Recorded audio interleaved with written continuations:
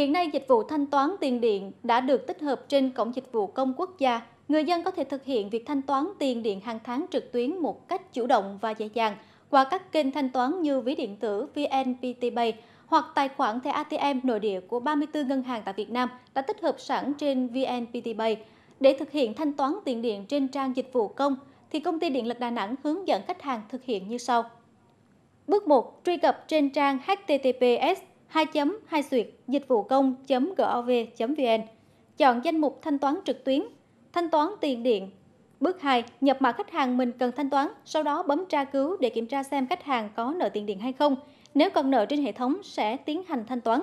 Bước 3 sau khi kiểm tra thông tin chính xác, thực hiện thanh toán tiền điện. Bước 4 thực hiện thanh toán bằng cách chọn hình thức ngân hàng. Có 34 ngân hàng liên kết hoặc qua ví điện tử của VNTP Pay.